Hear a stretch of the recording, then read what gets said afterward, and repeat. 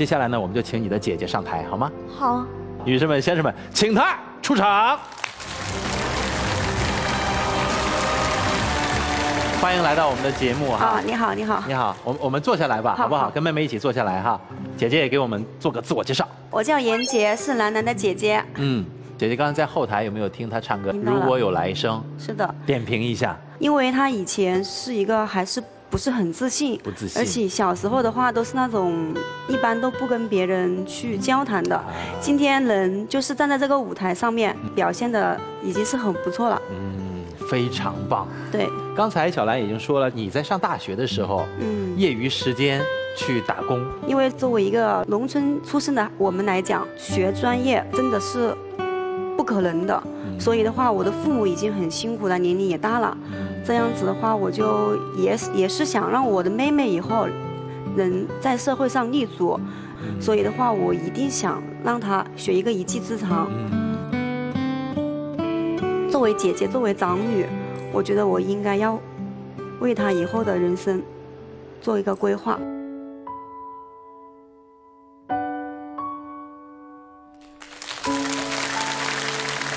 你同时做的，呃，最多的工作是几份？两份工作，呃，周一到周五，呃，中午两个小时，晚上两个小时，嗯，周末的话是十二个小时，啊，因为做导购嘛。妹妹最开始知道姐姐每天要做着两份工，不知道是因为有一次放国庆假的时候，嗯，姐姐看我待在家很无聊，她就说：“妍兰，要不要过来玩一下？”我说：“好啊。”到了周末，她就带了我去了一个地方。哦，原来姐姐是在这里工作，帮别人卖衣服。我心里想，原来姐姐这么辛苦呀！别的同学出去玩了，她连周末都没出去，还在为别人打工。在读初中的时候，同学们都在学钢琴，然后姐姐说：“呃，要不然我给你送一台钢琴。”然后妈妈说钢琴太贵了，就买一台电钢琴吧。我开始以为是姐姐是骗我的，没想到后来我回家的时候，看见那架钢琴真的在我的窗户边。每当我看到这台钢琴的时候，我就充满了自信。这架钢琴就像我的守护神一样的，让我浑身充满了阳光。有个姐姐真的很幸福，如果没有姐姐，我可能现在也不是这个样子。你是一个很幸运的姑娘，对吧？有这样的姐姐。刚才说到电钢琴，其实我们也有一些照片哈，我们通过大屏幕看一下。这个钢琴，问一下姐姐，为什么要给小兰买这样的一个礼物？因为他很喜欢。嗯我们在嗯农村嘛，城里面才有学音乐的。嗯因为在学校里面，如果留得太晚的话，就没有公交车搭回来了。所以的话，我就想让他在家里面也多练习，嗯就利用了我那个寒假工的一份工资，嗯，就跟他买了这这一架钢琴。电钢琴给你的改变和最大的收获是什么？虽然我弹钢琴比别人麻烦一点，不过没关系，我不想让姐姐这些钱白费，我想把电钢琴学得更好，嗯不想让姐姐失望。嗯，姐姐能跟您聊一下您这边的现在的情况吗？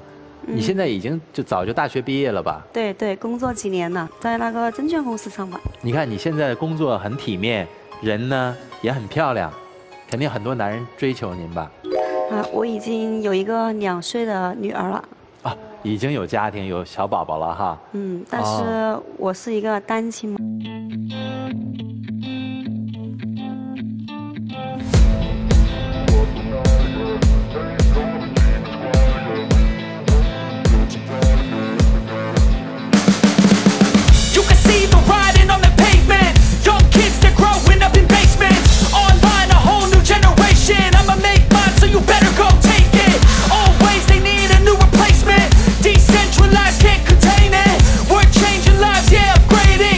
是你自己也有下一代啊，也有自己的家庭啊，他们也是你的亲人呐、是的，所以我有时候也会很委屈。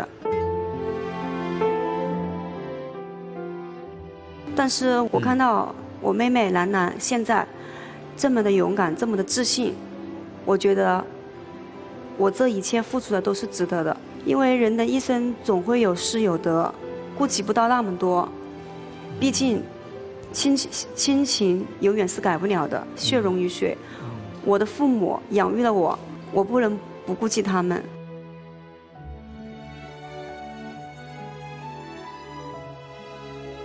我的婚姻可能不是那么的好，但是在平时的生活中，我妹妹也很懂事。有时候加班的时候，就是我妹妹帮我带我的女儿，带她玩啊，帮她换尿不湿啊，做一下家里面的卫生啊。不管以后怎么样，我们一家人在一起开心就好。我坚信，虽然我是单亲妈妈，我以后也还会有属于我的幸福。嗯